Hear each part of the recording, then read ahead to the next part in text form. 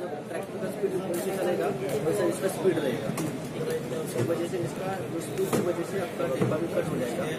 उसके बाद soil mixing हो जाएगी। मिट्टी मिक्स हो जाएगी। हाँ हाँ, और इस रोलर से आपको इसकी टेप कितनी लगाएँगे ठीक है टेप कितनी लगानी है? उसको उसके हिसाब से आपको इसको एडजस्ट करना है।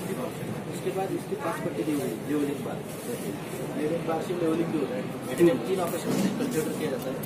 सॉइल मिक्सिंग होती है। और होती है एक्सप्लेन हो जाएगी। इसमें ये जो मटेरियल यूज़ किया हुआ है राष्ट्रीय के मटेरियल यूज़ किया जाता है। इसकी इसकी लाइफ ज़्यादा है।